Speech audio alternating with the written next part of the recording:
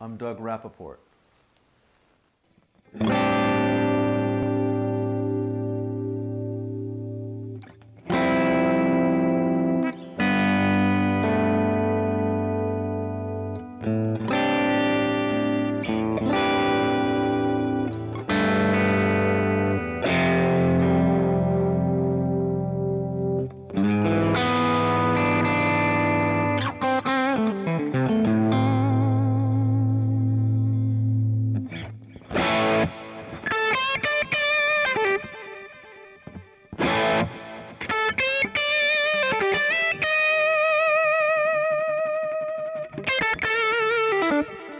I discovered Knaggs guitars through a friend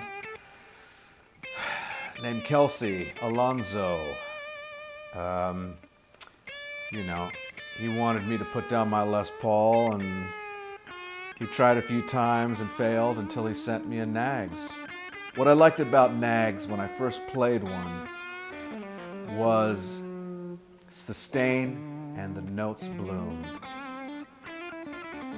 And that's uh, that's a really cool feeling to hit a note and it not only responds to your hands but almost takes on a life of its own. The first guitar I got was a Kenai. The second guitar I got was a Kenai, and uh, and I have a, a Keya and a Severn and a Chop Tank and there are a few more models I haven't gotten yet. The Kenai is my favorite. Let me be, let me be more specific. The Doug Rappoport signature model is my favorite. This is the Doug Rappoport signature model. Okay, uh, it's got a 78 and a 59 here. And then it's got the wiring, how I want it, how I want it.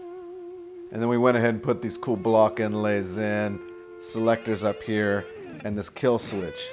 I always put a kill switch in my guitars. Um, mainly because I get a master volume and a master tone, so that eliminated the ability to go. Eh, eh, eh, so uh, I put the kill switch in, and that made it go. And Knaggs went ahead and just got this much better looking non cheap Radio Shack looking momentary switch, which is really cool. So it looks really good too. And it works great.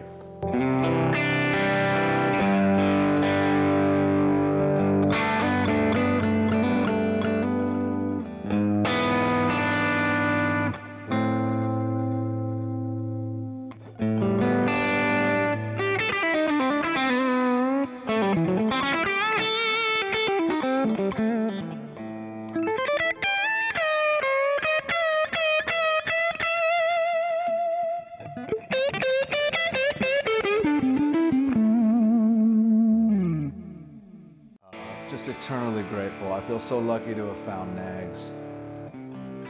It's just been uh, an amazing experience. I look forward to continuing to work with Knaggs. My signature guitar is the shit. You can beat that out. Yeah, man, check out this guitar, man. Check this shit out. Man. Look at that. Look at that.